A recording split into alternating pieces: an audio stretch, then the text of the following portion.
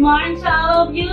Before I start my uh, lesson, I would like to greet my beautiful principal, Ma'am Josephine Emperado, to our assistant principal, Mrs. Tokirik Artinachan, and Miss Rosana Paton, my dear fellow teachers, home learning partners, and students, good morning to all of you.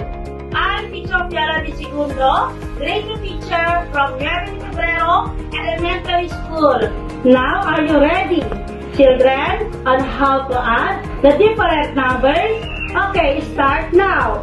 I will give you some example. Number 1, 5 plus 2 equals 7. 3 plus 2 equals 5.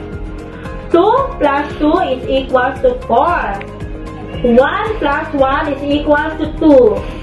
And 5 plus 5 is equal to 10. Children, you should uh, add in the first column and then you should uh, add in the second column and then add them, them in all.